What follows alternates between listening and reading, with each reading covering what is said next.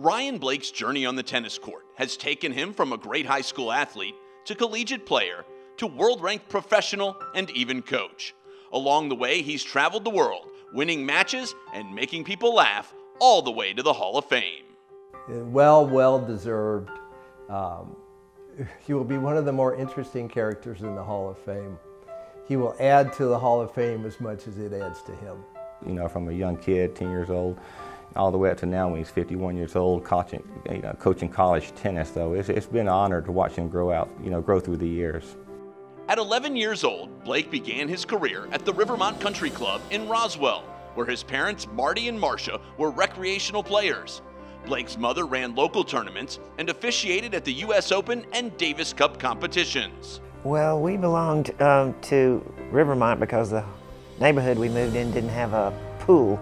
My kids were all young, so uh, we started playing tennis there. And he watched us and he started playing on the junior teams there. And that's how he got started and went from there. Blake's first coach was Hall of Famer Larry Schnall, and his early instruction helped Ryan find success at the junior level. I think he got most of his talent from his mother, Marcia, because I used to coach Marcia as well back in the day, so I can see where Ryan got his talent from. Blake was a three sports standout at the old Peachtree High School in Dunwoody. He excelled in football, basketball, and baseball, but when the coaches wanted to make him a lineman, he chose to focus on tennis. Well, he's actually just a tremendous athlete, and I don't think he, he actually became a good junior player till sort of the end of high school. Blake was a tall, powerful player with a strong serve and forehand. How heavy, how hard he can hit the ball is, is actually kind of amazing. By his senior year of high school, Ryan started to make a name for himself. He was the state singles runner up in the GHSA Quad A tournament the highest classification at the time.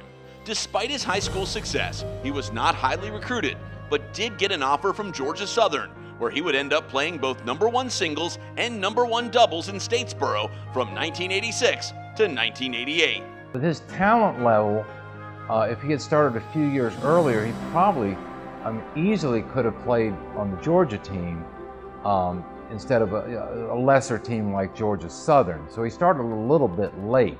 Of course, he made up for it uh, later. After graduation, Blake did not plan to play professionally, but after working out and holding his own with touring pros Dan Cassidy and Barry Moore, they convinced him to give it a shot. I don't think Ryan understood his potential uh, and his ability uh, when he was just out of college that uh, not only would he beat these guys, he would beat them to a pulp sometimes. He was, he was an incredible athlete.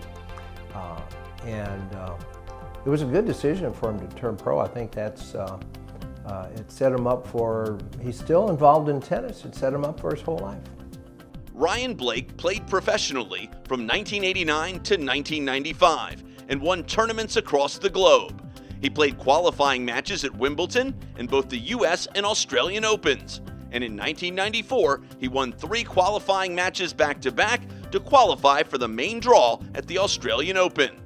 During this time, he beat many top 50 players, but his most notable win was over former world number one, Patrick Rafter.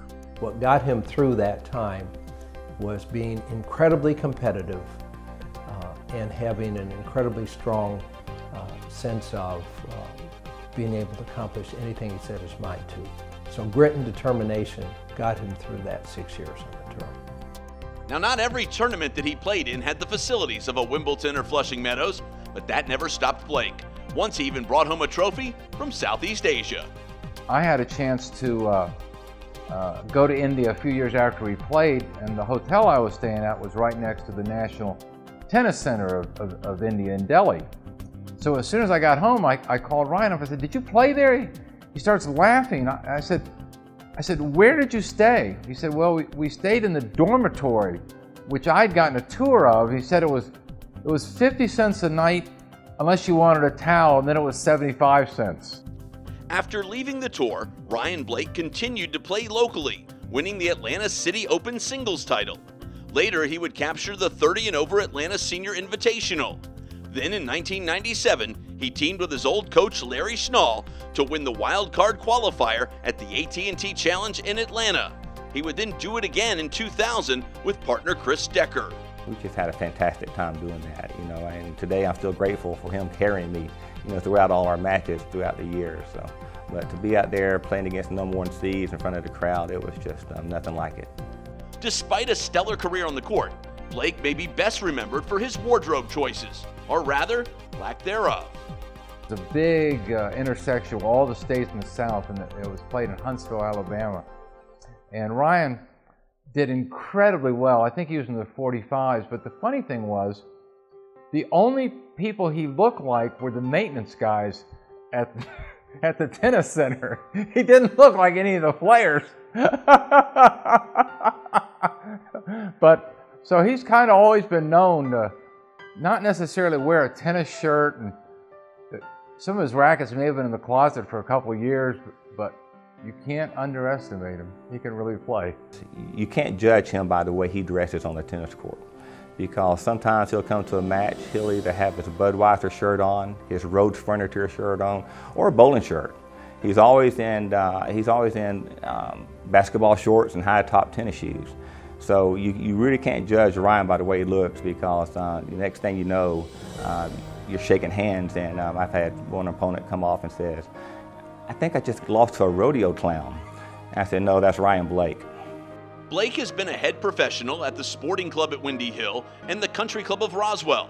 He's currently the head pro at Towne Lake Hills in Woodstock and is a volunteer assistant men's tennis coach at Kennesaw State University, where he has found tremendous success working with college players.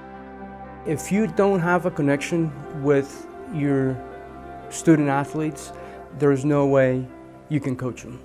Um, he has been able to build that connection in a very short period of time. Um, our team trusts him on the court, off the court. Uh, he's a lot of fun to be around. Um, he's very intense, uh, of course, very knowledgeable, uh, and that's uh, a complete package that uh, very few people have it. Uh, and he has it. He has it all. I think if he wanted to be um, full-time college coach, uh, he would be one of the best in the nation um, for sure. These days, Blake still picks up matches around the area and works as an NBA scout. He's a great natural athlete with an incredible will to win. And that probably got him through more matches than anything else, was that he just would never give up. Uh, there's a lot to be said for that. Congratulations to Ryan Blake, a 2018 inductee into the Georgia Tennis Hall of Fame.